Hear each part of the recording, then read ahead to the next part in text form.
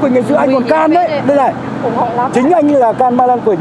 Là từ từ chúng nó chưa bộc lộ đâu cứ từ từ từ từ mình chỉ ghi nhận thôi. Chứ mình chưa được phép gọi là tôn vinh nó.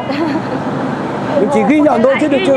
Ờ, mà nói con là mình rất là không như vậy để cho thấy rõ được ghi nhận với tôn vinh nó khác nhau. Ghi nhận là ghi nhận anh đã có hành động đó. Ờ. nhưng còn tôn vinh có nghĩa rằng anh đã là một người chuyển chuyển tâm. Em ghi nhận mà em ghi Ờ. nhận mà.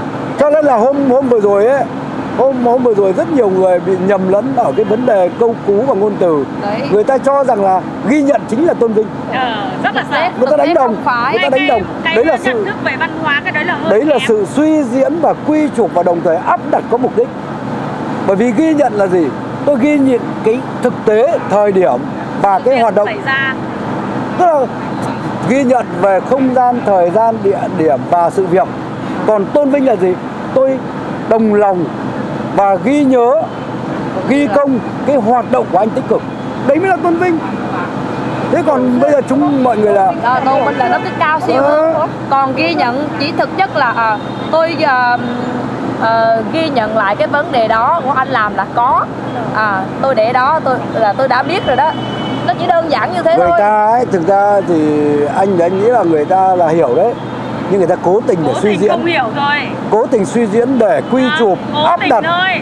để người ta phục vụ Nhưng mà- cho cái mục đích của người ta. Nhưng mà nói ra như vậy á người ta nói ra cái tôn vinh với cái ghi nhận là nó cũng đồng nghĩa nói ra như vậy á là là chỉ để cho người khác người ta đánh giá là cái con người thấp kém thôi cái nhận thức nó thấp kém người ta đánh chào Chứ tiếng nói chứ- bậy nói chứ về bậy luôn kìa. tôn vinh với ghi kiểu- nhận làm sao mà giống nhau ừ, được thế đánh đầu tôn vinh là phải tân bốc phải là đưa người ta lên cái gì gọi là biểu dương ví dụ như này ví dụ có một ông ông bảo là hôm nay á tôi ghi nhận được cái việc là cô hôm nay là cô đi lòng thẳng với trai chẳng hạn như thế. Thế chả nhẽ bây giờ lại tôi tôn vinh cô đi lòng thẳng với trai à đúng không cái việc đó là hoàn cái, toàn cái khác. có một cái như này đúng rồi. Như thế nha có cái là ghi cái gì nhỉ? Anh ghi nhận ờ, cái gì nhỉ? Ghi nhận là cái đợt vừa rồi thi thi thi mà ghi nhận là cái, cái tỉnh gì mà có những cái trường hợp là sửa điểm.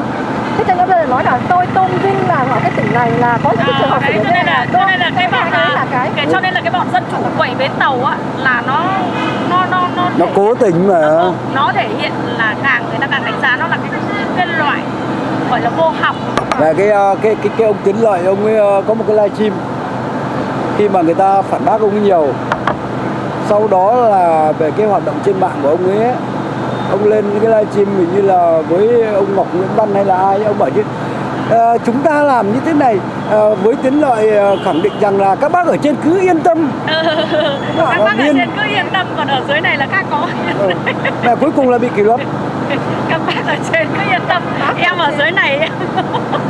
Trên cái dân tân ừ. mà thôi nhá chúng mình ta bàn với nhau đến một lúc nào đó để ta ờ, đón cô kỷ nhá. Thêm một ngày biến lặng mà lòng người rất động trong lòng người từng đã sóng tràn